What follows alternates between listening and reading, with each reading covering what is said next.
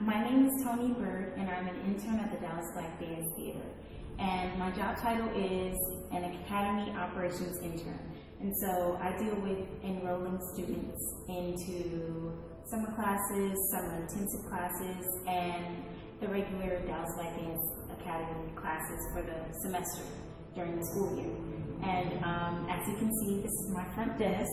This is where I work. I'm like a receptionist, people find where they need to go. And this is one of our studios here.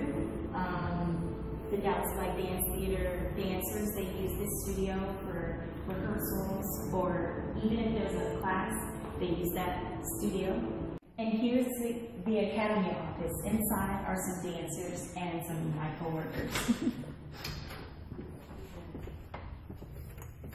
Can you guys say hello? Oh, hello. And this is my job.